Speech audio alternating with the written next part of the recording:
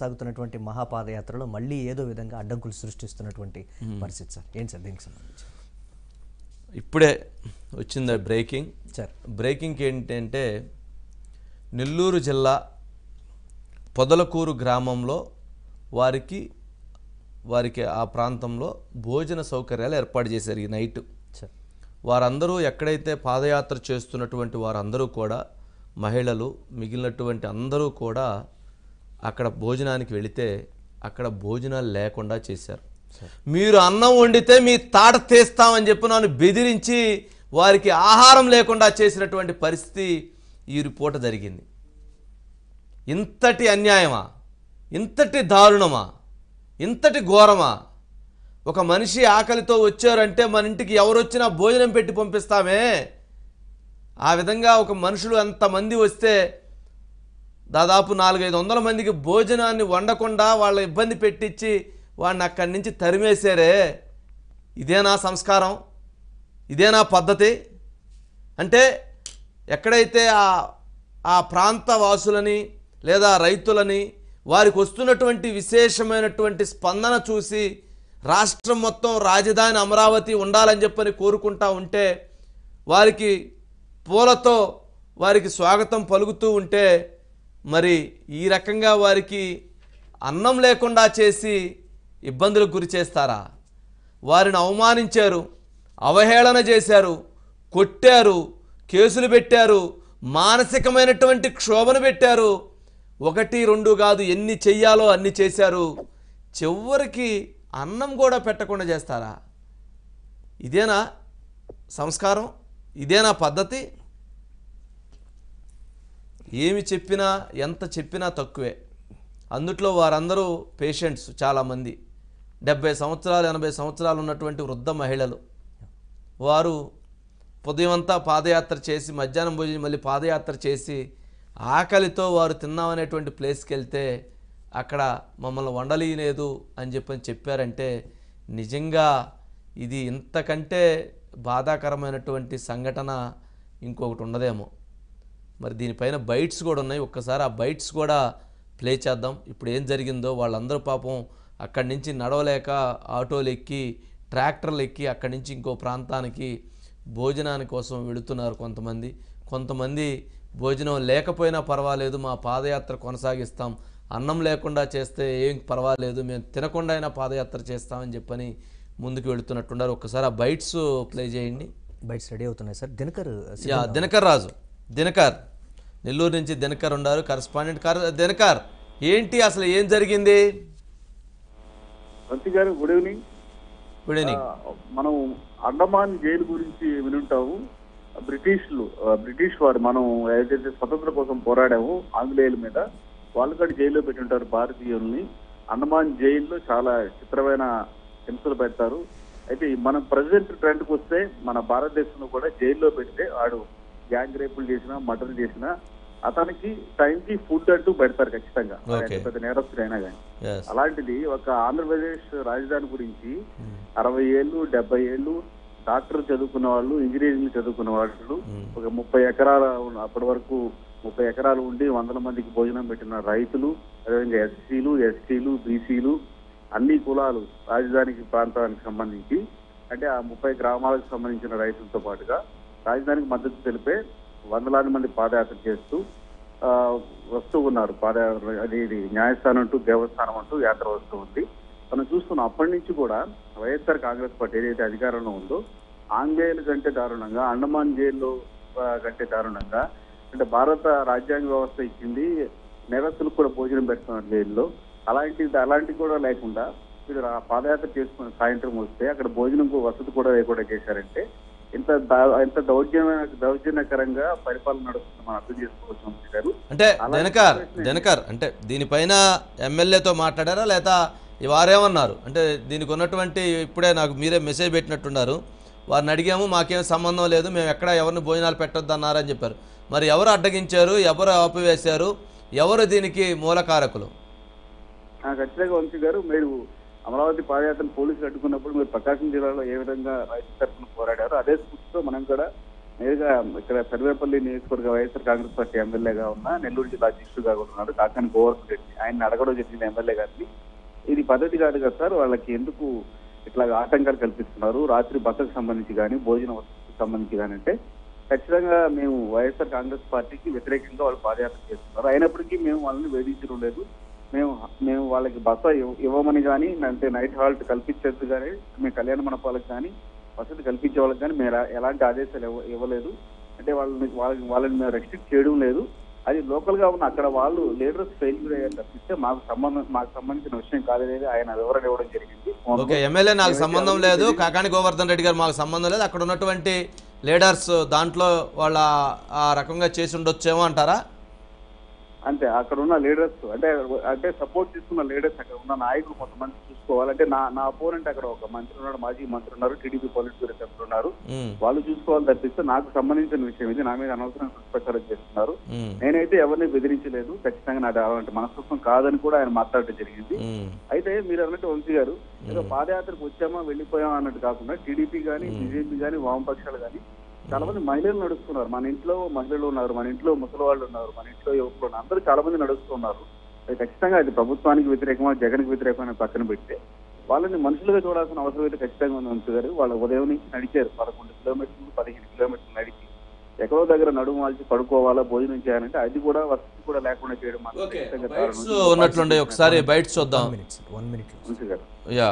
అంటే ఇప్పుడు మనం చూస్తున్నటువంటి దీంట్లో దాదాపుగా వారు ఉదయం నుంచి మధ్యాహ్నం నుంచి పాదయాత్ర చేస్తూ ఎక్కడైతే ఆహారం తిన్నాము భోజనం చేసి పనుకుందామని అంటే అక్కడికి అంటే ఇప్పుడు వసతి సౌకర్యం కూడా వాళ్ళకి అక్కడే ఉందో. భోజన సౌకర్యంతో పాటు వసతి సౌకర్యం కూడా. అంటే ఆ విజువల్స్లో చూస్తే టెంట్లు ఉన్నాయి. ఎవరో ట్రాక్టర్లో లారీల్లో వాటిల్లో ఎక్కించి తీసుకెళ్తూ ఉన్నారు. ఏంటది?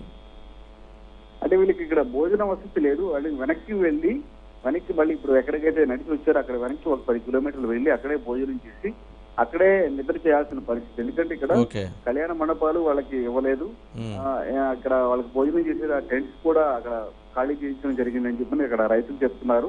ఇదంతా కూడా అక్కడ ఇప్పుడు ఖచ్చితంగా టీడీపీ పార్టీ కానీ బీజేపీ కానీ వామపక్షాలు కానీ ప్రజా సంఘాలు కానీ ఖచ్చితంగా రైతులకు స్ట్రాంగ్గా మద్దతు ఇవ్వాల్సిన పరిస్థితి. వైఎస్ జగన్మోహన్ రెడ్డి ప్రతిపక్ష నాయకుడిగా కాదు కాదు దినకర్ ఇప్పుడు తనే ఆ మూడు రాజధానుల అంశాన్ని పార్లమెంట్ రెండు అసెంబ్లీలో మండల్లో తనే విత్డ్రా చేసుకున్నారు కదా.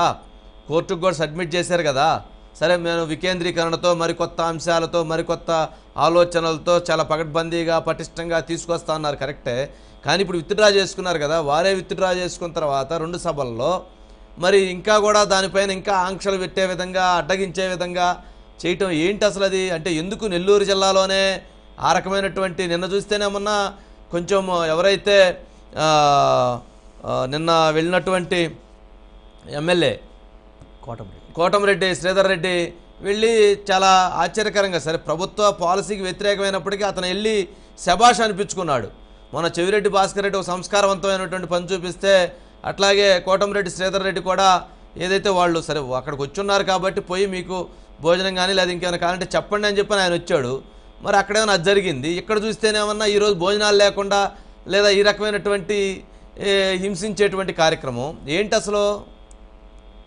ఖచ్చితంగా మంత్రి గారు ఎవరు కూడా హర్షించరు ఎలాంటి చర్యలు ఎందుకంటే కోటమిరెడ్డి సిద్ధారెడ్డి కూడా తన మానవత్వంతో భారీ వర్షాలు ఉన్నారని రైతులు వెళ్ళి పరామర్శించారు. మా పార్టీకి లైన్ దాటలేదు అని స్పష్టంగా చెప్పడం జరిగింది.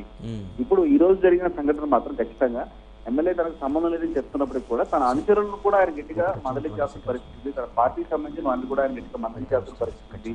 వాళ్ళు ఒక ఒకటి ఒక రోజు రెండు రోజులు పాదయాత్ర ఆ నియోజకవర్గం దాటి వెళ్ళి నియోజకవర్గంలోకి వెళ్ళిపోతుంది జగన్మోహన్ రెడ్డి వైఎస్ జగన్మోహన్ రెడ్డి ఏదైతే వీళ్ళ నాయకుడు ఉన్నాడో ఆయన కూడా పాదయాత్ర చేసి ముఖ్యమంత్రి అయ్యారు అప్పుడు పాదయాత్ర చేసినప్పుడు ఆయనకి ఆయన రోడ్ల మీద పడుకున్నాడు ఆయన కళ్యాణ మండపంలో నిద్ర చేశారు లాంటి గంటలో నిద్రపోయారు. అప్పుడు ఎప్పుడు లేని అంటే ఆయన పాదయాత్ర చేసి ముఖ్యమంత్రి అయినప్పుడు ఈ రైతుల మీద ఎందుకు ఇంత కక్ష కడుతుంది వైఎస్ఆర్ కాంగ్రెస్ పార్టీ ప్రభుత్వం అనేది ప్రజల్లో కూడా బాగా చర్చ నడుస్తుంది. ఖచ్చితంగా ఇది ప్రభుత్వానికి చట్టపేరు వచ్చే పరిస్థితి. అది ఎమ్మెల్యేలు తెలిసి చేసిన మంత్రులు తెలిసి తెలియక చేసిన ఏదైనా సరే ఖచ్చితంగా అమరావతి రైతులు ఒక ఒక రోజు రెండు రోజులు ఇబ్బంది అయితే పడచ్చు. కానీ వీళ్ళ చరిత్రలో మాత్రం ఖచ్చితంగా నిలిచిపోతారు. రాజధాని కోసం వీళ్ళు చేస్తున్న పోరాటం మాత్రం రైట్ ఒకసారి దినకర్ ఒక్క నిమిషం లైన్లో ఉండండి. నైట్ ఆ బ- ఆ బయట ప్లే చేయండి. జరుగుతాయని మేము ఫస్ట్ రోజు స్టార్టింగ్ రోజే ఇట్లాంటివన్నీ ఎదుర్కోవడానికి సిద్ధమయ్యే మేము బయలుదేరాం. ఇటువంటి అడ్డంకులు ఎన్ని వచ్చినా సరే ఈ పాదయాత్ర అనేది ఆగదు ఆపటం అనేది జరగదు ముందుకు సాగుతూ ఉంటుంది. మేము ఇవన్నీ అడ్డంకులు ఎదురీకించి ఎదుర్కొని వెంకటేశ్వర స్వామి దగ్గరికి వెళ్తామని మేమందరం కోరుకుంటున్నాం. ఇలాంటి ఇది మీరు చేయొద్దని చెప్పటం. లేకపోతే ఎక్కడ కాలేజ్ వాళ్ళు కానివ్వండి స్కూల్ వాళ్ళు వాళ్ళు స్వచ్ఛందంగా ముందుకు వచ్చి ఈ రోజు మా దగ్గర ఉండండి లేకపోతే మేము భోజనం ఏర్పాటు చేస్తాం అంటే వాళ్ళకు కూడా తర్వాత వెళ్ళి వాళ్ళని మీరు ఇలా చేయకూడదు మీ మీద కేసులు పెడితే ఇవన్నీ కూడా చూస్తూనే ఉన్నాం. కానీ ప్రజలందరూ కూడా మరి ఇంత ధైర్యం చేసి ముందుకు వస్తున్నారంటే ప్రతి ఒక్కళ్ళ మనసులో కూడా అమరావతి ఉంది. ఈ రోజు ఏదైతే ఈ రైతులు ఈ పాదయాత్రతో మా ముంగిటికి వచ్చారు మనందరి కోసం కష్టపడుతున్నారని ప్రతి ఒక్కళ్ళు ఆలోచించారు కాబట్టి ఈరోజు ప్రతి ఒక్కళ్ళు బయటకు వచ్చి మాకు స్వచ్ఛందంగా నేను ఆహ్వానం పలుకుతున్నారు ఆదరిస్తున్నారు. అలాగే మరి నెల్లూరు జిల్లాలో మరి ఎందుకంటే మరి వీళ్ళకి మందబలం ఉందన్నో మరేమో కానీ అధికార గర్వంతో ఎక్కడికక్కడ కూడా మొదటి నుంచి నెల్లూరు జిల్లా ఎంటర్ అయిన దగ్గర నుంచి కూడా ఆటంకాలు కలిగిస్తూనే ఉన్నారు. రైట్. అంటే ఆంధ్రప్రదేశ్ రాష్ట్ర రాజధాని కోసం ముప్పై నాలుగు వేల ఎకరాలు త్యాగం చేసినటువంటి వ్యక్తులు వారు. ఒక్క రూపాయి డబ్బులు తీసుకోకుండా ముప్పై నాలుగు వేల ఎకరాలు ఈ రాష్ట్ర రాజధానికి కావాలి రాష్ట్ర భవిష్యత్తు తరాలకు కావాలి రాష్ట్ర భవిష్యత్తు కోసం మేమున్నామని చెప్పని ముందుకొచ్చినటువంటి రైతాంగం అన్ని వర్గాల ప్రజలు. ఇంతవరకు ఒక సామాజిక వర్గం ఉన్నారు వాళ్ళు సవాల్ చేసి ఇక్కడ ఏ సామాజిక వర్గాలు ఉన్నారు రమ్మని చెప్పిన కూడా వాళ్ళు సవాల్ చేశారు. మరి ఆ రాష్ట్రం ఈ రాష్ట్ర ఆ రాష్ట్రం కోసం ముప్పై నాలుగు వేల ఎకరాలు త్యాగం చేసినటువంటి వారు తమకు న్యాయం కావాలని న్యాయస్థానంటూ దేవస్థానం వరకు మహాపాదయాత్ర వెళుతూ ఉంటే వారిని అడ్డగించటం వారికి కనీసం ఈ రాష్ట్రం కోసం త్యాగం చేసినటువంటి వారికి అన్నం లేకుండా చేయటం నిలువ నీడ లేకుండా వారి కనీసం ఉండేందుకు కూడా అవకాశం లేకుండా చేశారంటే నిజంగా ఇంతకంటే దుర్మార్గమైనటువంటి అంశాలు ఉంటాయా? ఇటువంటి అంశాల ద్వారా ఏం తెలియజేయాలనుకుంటున్నారు? ఏం చెప్పాలనుకుంటున్నారు అనేటువంటిది కూడా ఉత్పన్నం అవుతుంది వారు నిజంగా చేస్తున్నటువంటి వారందరూ కూడా ఆహారం ఉన్నా లేకపోయినా వారు ఇక్కడి నుంచి మొదలుపెట్టి న్యాయస్థానం టు దేవస్థానం వరకు వారు ఆ వయసులో కాళ్ళు బొబ్బలు ఎక్కుతూ కడుపులో అనేక రకాలైనటువంటి అనారోగ్య సమస్యలతో వర్షంలో తడుస్తూ ఎండకి ఎండుతూ కూడా వాళ్ళు వాళ్ళ ప్రయాణం కొనసాగిస్తున్నారు.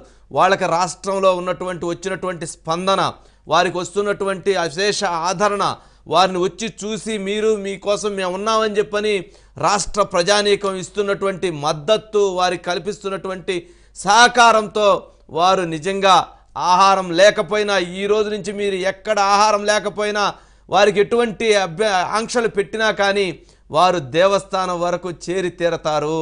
ఎందుకంటే వారిలో ఉన్నటువంటి సంకల్పం అంత బలమైనటువంటిది. వారిలో ఉన్నటువంటి ఆశయం అంత బలమైనటువంటిది.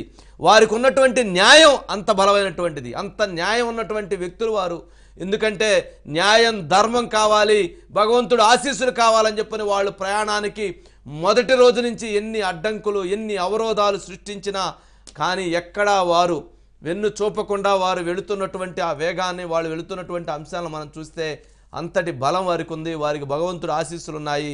న్యాయస్థానం వారి వైపు న్యాయం నిలబడుతుంది అనేటువంటిది కూడా మనం చెప్పవచ్చు మురళి. దినకార్ మొత్తానికి ఎటువంటి పరిస్థితి అయినా సరే వారికి ఆహారం లేకపోతే రాష్ట్రంలో ఉన్నటువంటి ఎవరైతే రాజధాని కోరుకుంటున్నటువంటి వారందరూ కూడా తక్షణం అక్కడ అవ- అవకాశం ఉంటే అవకాశం ఉన్నటువంటి వాళ్ళందరూ వారికి భోజనాలు అందించండి. అవసరమైతే వారిని ఇంటికి తీసుకెళ్ళి ఇంట్లో పొనుకోబెట్టుకొని ఉదయాన్నే మరలా కూడా వాళ్ళ పాదయాత్రలోకి ముందుకు తీసుకెళ్ళటానికి కూడా అందరూ సిన్న సన్నద్ధంగా అండి తప్ప వెన్ను చూపేటువంటి పరిస్థితులు కూడా అవసరం లేదు.